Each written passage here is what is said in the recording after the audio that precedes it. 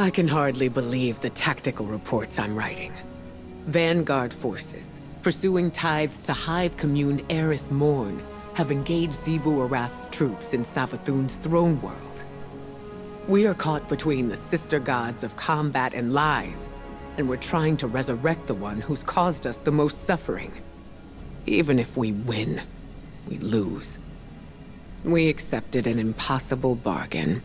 Savathun knew we couldn't defeat Arath. No one can win a battle against war itself. Eris understands this better than any of us. I know she's working on a plan. But I must still prepare for unexpected outcomes.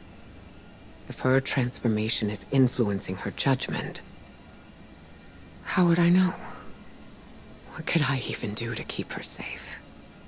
Guardian, be careful. We've lost so much to the Hive already. We can't let them take any more.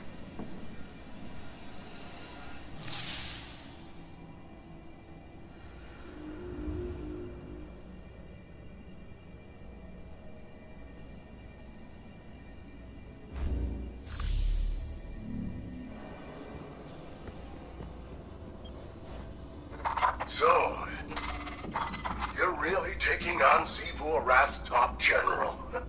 I love watching you do our dirty work. I was digging through Savathun's archives I found this little gem from about a million years ago. I figured you should know what you're up.